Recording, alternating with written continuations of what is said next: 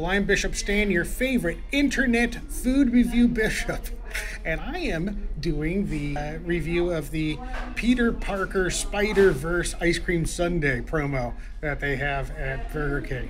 And I kind of thought it was going to be a sundae with a sauce, but evidently it doesn't come with it. It comes with these bits on top. So it's really about uh, 250, 275. And let's take a look here. First of all, what are these little bits? Oh, oh yes. There is a trick to these bits. They're like little cookie crumbles coated in candy, but they also have pop rocks in them. So when you eat them, they pop and sparkle in your mouth. Oh, loads of fun. I haven't seen fun like this in a while. It just needs more pop rocks. If you're gonna if you're gonna have a gimmick, you have to commit to the gimmick. I'm gonna give it a um, a B plus. It needed more gimmick